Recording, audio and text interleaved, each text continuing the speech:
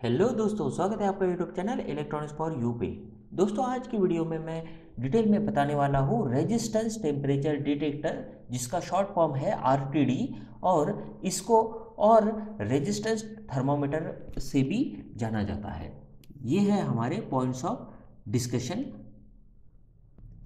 तो आइए शुरुआत करते हैं। सबसे पहले कि आरटीडी क्या रहता है? तो आरटीडी जो रहता है, ये एक टाइप का ऐसा सेंसर है जिसे हम टेम्परेचर डिटेक्शन के लिए या फिर टेम्परेचर मेज़रमेंट के लिए इस्तेमाल करते हैं। ये आर एक pure material such as platinum copper या फिर निकल वायर से बना रहता है और इसका एक स्पेसिफिक टेम्परेचर पे स्पेसिफिक रेजिस्टेंस रहता है। आइए इसका कंस्ट्रक्शन जानते हैं। तो ये जो रेजिस्टेंस थर्मोमीटर्स या फिर आरटीडी रहते हैं, इसको हम कहते हैं कि ये प्रॉप टाइप का रहता है और इसको हम जो भी मटेरियल का हमें टेम्परेचर मेजर करना है, उसमें हम उसको इमर्स करते हैं। यानी अगर मुझे वाटर का टेम्परेचर मेजर करना है तो ये इसका जो प्रोब रहेगा कुछ इस तरह से दिखाई देता है। इसको हम पानी में डुबाएँगे और पानी में फिर उसका टेम्परेचर क्या रहता है वो मेजर करेगी। तो इस, ये ये जो है, ये है एक आर टी डी यहाँ पर आपको दोस्तों ध्यान में देना है कि ये पूरा का पूरा सेंसर नहीं रहता है। सेंसिंग एलिमेंट जो बेसिकली रहता है, वो यहाँ पर टिप में यहाँ पर रहेगा।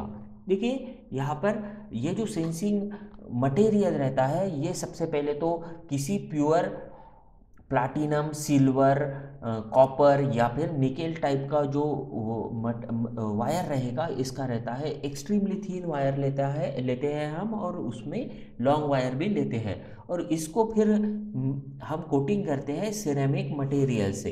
ये जो रहता है, इसको हाई टेम्परेचर पे फायर करते हैं और फिर एनिलिंग के लिए ये इंश्योर किया जाता है।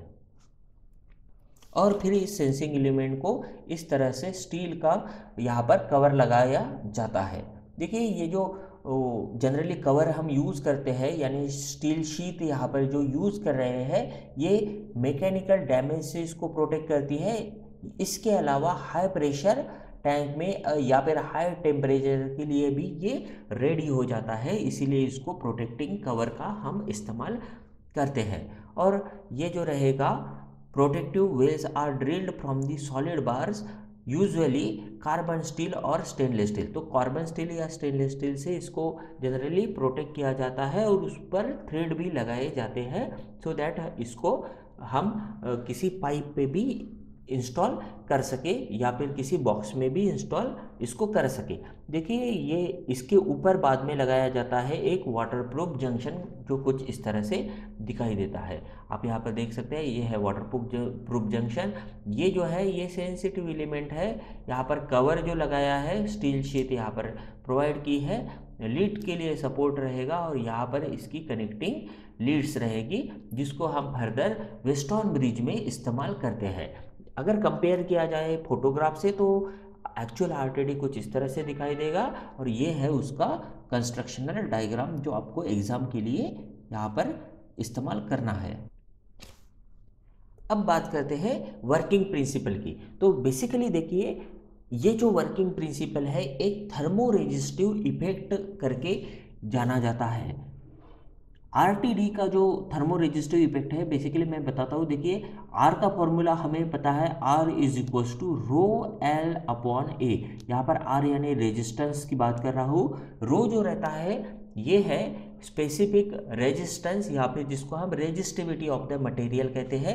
एल रहता है लेंथ ऑफ़ द कंडक्टर और ए रहता है cross sectional area of the conductor यहाँ पर अगर हम बात करेंगे तो देखिए, ये रेजिस्टेंस है लेंथ एरिया और स्पेसिफिक रेजिस्टेंस पे डिपेंडेंट लेकिन ये रहता है एट कॉन्स्टेंट टेम्परेचर अगर हम टेम्परेचर मेटल का या फिर सेमीकंडक्टर का वैरी करते हैं तो यहाँ पर रेजिस्टेंस भी चेंज होता है और इसी को एग्जैक्टली exactly कहते हैं थर्मो रेजिस्टिव इफ़ेक्ट तो थर्मो रेजिस्टिव इफ़ेक्ट में क्या होगा? तो simply whenever there is change in the resistance change in temperature resistance also changes और जनरली ये जो रहता है, इसका रिलेशनशिप हमें रेजिस्टेंस काउंट करना है तो रेजिस्टेंस का जो फॉर्मूला रहता है, कुछ इस तरह से रहता है R T equals to R reference times one plus alpha into delta T यहाँ पर देखिए, ये जो आर रेफरेंस है, ये रेफरेंस रेजिस्टेंस है, जिसको हम ज़ीरो डिग्री पे कंसिडर करते हैं।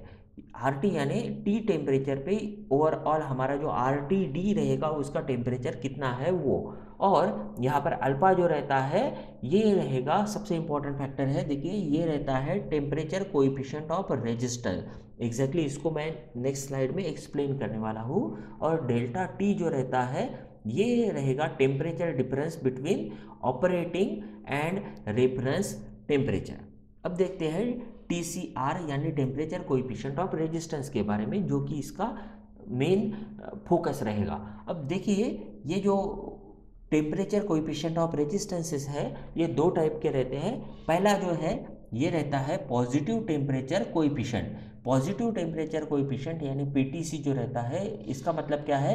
As temperature increases resistance increase यानी टेम्परेचर अगर बढ़ता है तो इसका रेजिस्टेंस भी बढ़ता है और ये यूज़ किया जाता है, ये जो प्रॉपर्टी है जनरली एग्जिबिट करता है मेटल ठीक है दोस्तों? और देखिए, दूसरा जो टाइप का टेम्परेचर कोइफिशिएंट रहता है, ये रहता है निगेटिव टेम्परेचर कोइफिशिएंट एनटीसी इसमें क्या रहेगा? टेम्परेचर अगर इंक्रीज होता है तो रेजिस्टेंस यहाँ पर डिक्रीज होगा। देखिए, यहाँ पर पीटीसी में टेम्परेचर इंक्रीज हो रहा था तो रेजिस्टेंस भी इंक्रीज हो रहा था, लेकिन एनटीसी में टेम्परेचर अगर इंक्रीज होता है तो रेजिस्टेंस डिक्रीज होता है। जनरली ये प्रॉपर्टी रहती है सेमीकंडक्टर की। तो सेमीकंडक्टर एनटीसी है और मेटल्स जनरली पीटीसी को फॉलो करते हैं। हम जो आरटीडी के मटेरियल मोस्टली यूज़ करते हैं, ये रहते हैं मेटल्स के। तो यहाँ पर हमारा जो आरटीडी रहता है, ये पॉजिटिव टेम्परेचर और कोइफिशिएंट यहाँ पर एग्जिबिट करता है।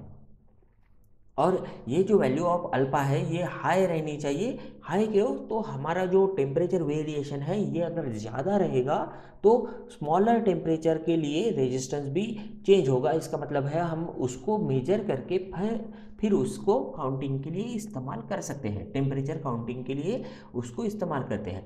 ओवरऑल हम यहाँ पर सिर्फ़ रेजिस्टेंस इस्तेमाल कर रहे हैं तो रेजिस्टेंस का जो वेरिएशन है, इसको मेजर करने के लिए हम इस्तेमाल करते हैं विस्टॉन ब्रिज को। और विस्टॉन ब्रिज जो है फर्दर हम इसको रेजिस्टेंस मेजर करने के लिए यूज़ करेंगे। इसका वर्किंग में नेक्स्ट स्लाइड में फर्दर नेक्स्ट स्लाइड में एक्सप्लेन करूँगा।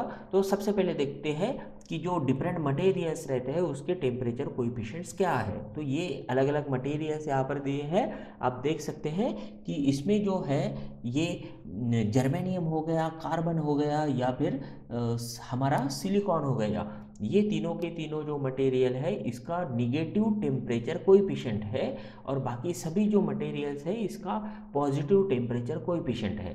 जनरली जितना ज़्यादा टेम्परेचर कोइफिशिएंट रहेगा, उतना हम ज़्यादा उसको प्रीफर करेंगे। तो देखिए प्लाटिनम निकेल हो गया देन आयरन हो गया, इसका जो टेम्परेचर कोइफिशिएंट है, ये ज़्यादा है, इसके लिए हम इसको जनरली इस्तेमाल कर सकते हैं। अब देखते हैं, इसका जो ग्राफ है, वो कुछ इस तरह से रहेगा। अगर टेम्परेचर वेरी होता है तो ओवरऑल रेजिस्टेंस कैसा रहेगा? तो देखिए प्लाटिनम एक आपको बिल्कुल स्ट्रेट लाइन प्रोवाइड कर देता है, यानी ये लीनियर प्रॉपर्टी एग्जिबिट करता है। सिमिलरली कॉपर और निकेल भी मोस्टली हमें लीनियर आउटपुट देते हैं। वेयर एज जो टेम आयरन है, इसमें रेजिस्टेंस वेरिएशन तो अच्छा हो रहा है, लेकिन ये लीनियर नहीं है। इसीलिए हम जो मटेरियल मोस्टली यूज़ करते हैं for the measurement of temperature क्योंकि हमें स्केल बनाने में इजी रहेगा, वो मटेरियल्स रहते हैं प्लाटिनम कॉपर और निकेल इसको मैं आखिरी में एक्सप्लेन करूँगा। सबसे पहले देखते हैं वर्किंग तो यहाँ पर एक वेस्टॉन ब्रिज की वर्किंग इस्तेमाल की है। देखिए, ये वेस्टॉन ब्रिज है और यहाँ पर एक डीसी पावर सप्लाई लगाया है। तीन हमारे पास स्केल है। एक है फुल स्केल रेफरेंस और मेज़रमेंट सबसे पहले हम क्या करेंगे? ये जो है रेफरेंस इसको एडजस्ट करेंगे। ये देखिए यहाँ पर तीन रेजिस्टेंसेस R1, R2 और R3 इस्तेमाल किए हैं। ये जो तीनों रेजिस्टेंसेस है ये फिक्स टाइप के रेजिस्टेंस है। इसके अलावा हमारा जो आर रेफरेंस है ये भी एक फिक्स्ड रेजिस्टेंस ही है। सबसे पहले क्या करना है हमें तो रेफरेंस स्केल सिलेक्ट करना है और इस ज़ीरो एडजस्ट को कुछ इस तरह से एडजस्ट करना है। इस टर्मिनल को कुछ इस तरह से एडजस्ट करना है कि हमें यहाँ पर ज़ीरो डिग्री, ये जो गैल्वानोमीटर है, इसका डिप्लेक्शन ज़ीरो डिग्री रहना चाहिए। तो ये हो गया ज़ीरो एडजस्ट सबसे पहले। उसके बाद हम क्या करेंगे? एक बार रेफरेंस पोजीशन यानी ज़ीरो पोजीशन हमारी एडजस्ट हो गई। तो देखिए, और दो रेजिस्टेंसेस है जो यहाँ पर सेम है। ये जो आर टी है रेजिस्टेंस थर्मोमीटर का टेम्परेचर रेजिस्टेंस और यहाँ पर आर एफ़ एस जो है, ये, इन दोनों का रेजिस्टेंस सेम है। अब क्या करना है? तो ये जो आर एफ़ एस है, इसको कनेक्ट करना है। यहाँ पर फुल स्केल सिलेक्ट करनी है और फुल स्केल सिलेक्ट करने के बाद उसको कुछ इस तरह से एडजस्ट करना है। ये स्केल हम वैरी करेंगे और इसकी जो मैक्सिमम पोजीशन रहेगी, हमारा गैल्वानोमीटर जो रहेगा, उसको मैक्सिमम स्केल तक हम इंडिकेट करेंगे। कुछ इस तरह से हम इसको एडजस्ट करेंगे। आखिरी में क्या करना है? तो हमें फिर यूज़ करना है मेज़रमेंट अब हमारे पास कैसा? ज़ीरो पोजीशन आ गई। हमारे पास मैक्सिमम पोजीशन आ गई। अब हमें मेज़रमेंट करना है। तो जैसे जैसे यहाँ पर आप देख सकते हैं कि ये है हमारा गैल्वानोमीटर से गैल्वानोमीटर का इंडिकेशन ज़ीरो से लेके मैक्सिमम तक हमें पता चल गया है। अब क्या करेंगे? तो ये आर टी रहेगा। इसको हम जो भी मटेरियल है, जिसका टेम्परेचर मेजर करना है, इससे हमें वाटर का टेम्परेचर मेजर करना है तो मैं उसको आर को वाटर में इमर्स कर दूँगा। और उसके बाद उसको पानी में डुबाने के बाद देखिए क्या होगा? तो ये पानी का जो एक्चुअल टेम्परेचर रहेगा, वो हमें यहाँ पर डिप्लेक्शन देगा। जनरली यहाँ पर जो मटेरियल यूज़ किया जाता है, वो लीनियर स्केल वाला मटेरियल होना चाहिए। जैसे कि हमने प्रीवियसली देखा है प्लाटिनम निकेल और कॉपर ये लीनियर आउटपुट प्रोवाइड करते हैं। सो so दैट हम क्या करें, ये जो गैलोवानोमीटर का डिप्लेक्शन है, इसको टेम्परेचर मेज़रमेंट के लिए इस्तेमाल कर पाए। कुछ इस तरह से हम उसको इस्तेमाल करेंगे। अब देखते हैं कि इसमें मटेरियल्स कौन से इस्तेमाल करते हैं। मटेरियल कौन से इस्तेमाल करते हैं? तो सबसे पहले प्लाटिनम। प्लाटिनम को क्यों प्रिपेयर किया जाता है? तो इसका सबसे पहला है टेम्परेचर रेंज। देखिए, टेम्परेचर रेंज बहुत यहाँ पर वाइड रेंज ऑफ़ टेम्परेचर है प्लाटिनम के लिए। ये बिल्कुल minus two fifty degree centigrade से लेकर एट हंड्रेड डिग्री सेंटीग्रेड तक यहाँ पर वैरी कर रही है। देन ये केमिकली स्टेबल रहता है और इसको थीन वायर के लिए भी हम इस्तेमाल कर सकते हैं। देन इस, ये ऑक्सीडेशन और क्रोजन को रेजिस्ट करता है। Then it can withstand at severe environmental condition environmental condition अगर बहुत एक्सट्रीम भी हो जाए तो भी ये यहाँ पर विस्टैंड करता है। यानी हाई टेम्परेचर और प्रेशर को ये सह सकता है। इसके बाद वे वेरी सेंसिटिव टू स्ट्रेन ये स्ट्रेन से सेंसिटिव है सेंसिटिव टू केमिकल कॉन्टेमिनेशन है वायर लेंथ यहाँ पर हाई लगती है तो ये यहाँ पर डिसएडवांटेज है, लेकिन एक और एडवांटेज है कि it can be use for the precision application platinum में एक और डिसएडवांटेज रह सकता है कि ये थोड़ा सा एक्सपेंसिव रहता है। अगर मुझे दूसरा मटेरियल इस्तेमाल करना रहा तो उसके लिए फिर है निकेल और कॉपर जिसको हम जनरली प्रीफर करेंगे, क्योंकि ये भी हमें लीनियर आउटपुट प्रोवाइड करके देते हैं। यहाँ पर सबसे बड़ा एडवांटेज ये है कि ये लेस लेस एक्सपेंसिव रहेंगे, यानी ये सस्ते मटेरियल है। लेकिन यहाँ पर डिसएडवांटेज ये रहता है कि इसका जो टेम्परेचर रेंज है, वो रिड्यूस होता है। फॉर एग्ज़ाम्पल टेम कॉपर के लिए ये 300 डिग्री सेंटीग्रेड ही रहेगा। देन यहाँ पर भी थीन वायर हम, हमें बनाना पड़ता है और बन, बना सकते हैं और वो एक केमिकली भी प्योर रहेगा। लेकिन दोनों केस में हमें क्या रहता है तो लेंथ ऑफ़ वायर जो रहती है वो ज़्यादा लगेगी। देन कॉपर जो रहता है, ये करोजिव इन्वायरमेंट के लिए सूटेबल नहीं रहता है, क्योंकि हमें पता है कॉपर पे एक ब्लैक कलर की ऑक्साइड लेयर बनती है तो ये करोजिव इन्वायरमेंट के लिए सुटेबल नहीं है। At high temperature the evaporation increases the resistance so overall ये हो गए materials used in the RTD दोस्तों, अगर आपको ये वीडियो अच्छा लगा तो आपके दोस्तों के साथ शेयर कीजिए लाइक कीजिए और कमेंट कीजिए। Thank you